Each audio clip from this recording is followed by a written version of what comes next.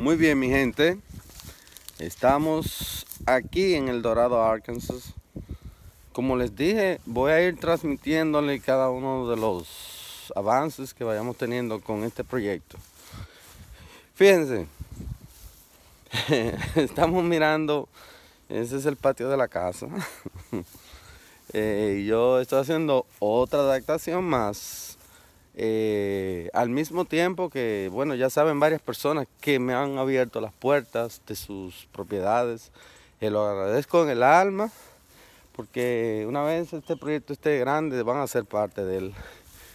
Van a ser parte de él, la gente que cree, Pero aquí estamos haciendo porque hay que hacer algo que la gente pueda ver, ¿me entienden? A la gente le gusta ver lo que se va haciendo y esto es un proyecto para la gente, para que la gente aprendan nuevas cosas. Eh, fíjense, como les decía, aquí estamos preparando.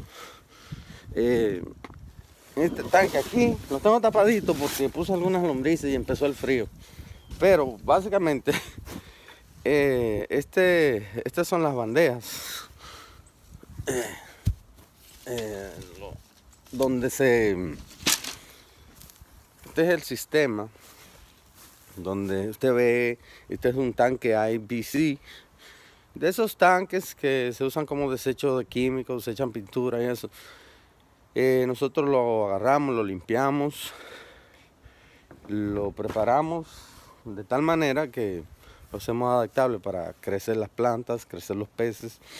Este sistema va a funcionar de la siguiente manera. Aquí ya este está cortado y debajo en la parte de adentro tiene una, una grava y arriba tiene otra, otra grava más fina. Aquí puse una grama ornamental em, porque el proyecto, como le dije, es versátil. Usted puede crecer lo que usted quiera. No hay un límite. No hay un límite. En el sistema Aquaponics no hay un límite porque como estamos suministrando nutrientes y quitándolo, las plantas toman y todo lo que usted pueda sembrar en este tanque, yo diría, mire, unas una, dos, tres, cuatro, cinco, unas cuatro líneas de plantas. Eh, imagínese que usted ponga ahí tomates. Yo diría que ahí podemos eh, algunas 15, 20 matas de tomates y el sistema lo soporta. Y es el mismo sistema, mire, el sistema tiene un sifón, mírenlo aquí, el sistema tiene un sifón, simplemente va a recibir el agua desde las peceras, desde los tanques de los peces, y el sifón simplemente eh, ahí no se está pero luego yo, yo lo voy a ir mostrando paso a paso. Solamente quiero que vean el sistema. Este tanque, este tanque va hacia adentro. Eh, fue que llovió y se llenó de agua y subió. Pero el tanque va hacia adentro. La idea es que toda, todo el drenaje de las bandejas de, cultivadoras, así se llaman, bandejas cultivadoras, eh, cuando drena, cuando drena, cuando el sifón rompe y drena, eh, todo el agua viene y va a caer en este nuevo tanque. Y de este nuevo tanque entonces va a venir y va a bombear el agua. Me, bueno, tendrá que pasar por unos filtros, pero va a venir, fíjense, aquí tengo varios tanques, o sea, el proyecto va caminando. El proyecto va caminando. Pasa el frío, pasa muchas cosas, ¿verdad? Pero si se fijan, eh, aquí vamos en esta área, vamos a tener la parte de los peces. Este es el sistema casero, ¿verdad? Para que no se confundan. Esto viene un sistema eh, grande que lo estamos haciendo en otras, en otras propiedades de otros amigos, eh, unos amigos mexicanos que nos han abierto las puertas. Entonces, y, y muchas gracias.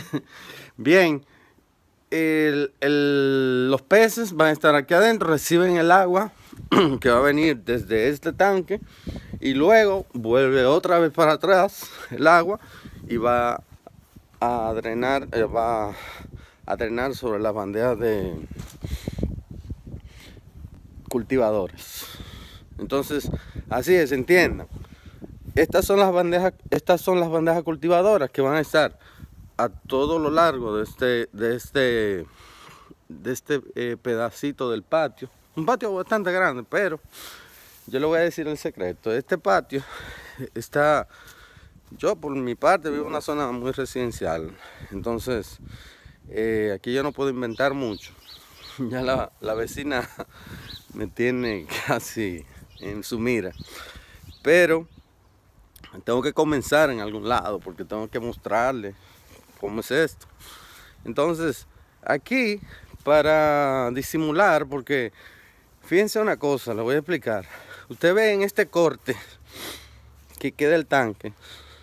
Entonces uno, uno mete unas varillas, las atraviesa de, lado a lado y ahí le pone el plástico arriba y ya tiene un pequeño invernadero. Entonces, por ejemplo, si yo tengo una línea de tanques de este lado y vamos a decir que ponemos otra de este lado, de este lado, ¿verdad? Ahí se forma, se formaría un arco desde esta parte hacia, hacia allá. Y si usted forma un arco y lo hace a todo lo largo de esta área, usted va a formar un invernadero.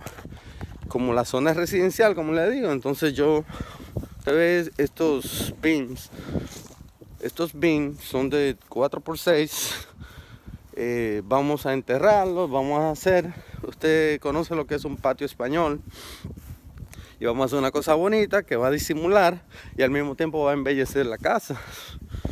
Por ejemplo, si usted lo, mira así a grosso modo y usted hace un, patio español a todo lo largo y le pone, lo cubre con lo, cubre con, este tipo de, de material, nadie va a ver lo que usted tiene ahí pero se va a ver bien bonito, porque un patio español es bien bonito, ustedes lo conocen. Eh, esas son ideas, ¿me? Porque tiene su casa, puede desarrollar algo así. Como le dije, estamos en la mejor disposición, todo el que quiera hacer este proyecto eh, casero, yo estoy en la disposición, porque yo quiero abrir, quiero abrir el mercado. Abrir el, mercado y que todo el mundo conozca lo, lo que se está haciendo, cómo se hace y luego participe del negocio porque esto no es para nadie hacerse rico, esto es para que todo el mundo eh, disfrute. Señores, eh, esto es para que ustedes se den cuenta. Me gusta ponerle las cosas así en clarito, porque luego viene un proyecto grande y dice, ¿y de dónde hizo todo eso? Fue poco a poco. Poco a poco como se hacen las cosas, poco a poco. Así que cuando no se sorprendan cuando te ven aquí y, dice, ay, ¿qué hay? Ah, mira, aquí hay tomates, aquí hay chinola, aquí hay, como dice el hermano Villegas, aquí hay verdolaga, aquí hay ejotes. Me gustan esos términos. Yo no conozco ese tipo de, de vegetales, pero los adaptamos. Entonces seguimos transmitiéndole, señores, desde El Dorado, Arkansas. Y vuelvo y les repito, esto es un sistema combinado aquaponics system, lombricultura y producción de biogás a través de desechos orgánicos, totalmente orgánicos, nada se pierde. Ya la economía está cada día, cada día peor y tenemos que buscar maneras de sobrevivir. Entonces, yo he encontrado mediante estudios, mediante ah, investigaciones, mediante conferencias que he asistido, he encontrado la manera de combinar estos sistemas, porque ellos por sí solos eh, funcionan, pero cuando usted los combina, entonces se da cuenta, como les mostraba en los videos anteriores, lo felices que estaban las, los gusanos, las lombrices en el sistema de aquaponics. Cuando usted pone las lombrices aquí adentro de este sistema ellas se sienten como en su casa. Porque, discúlpame que estoy hablando un poquito, es que está haciendo un frío.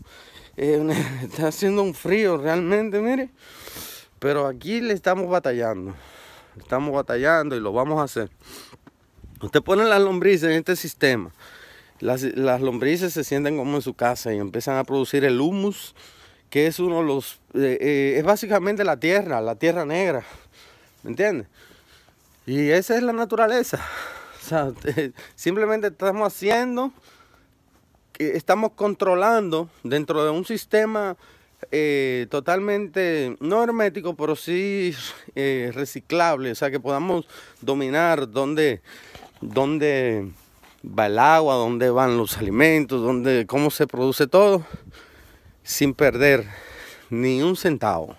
Así que, vuelvo y les digo, sigan estos videos, que vamos juntos, juntos a, a crecer en este tipo de negocios y de, de tecnologías. Pues muchas gracias. Hasta la vista.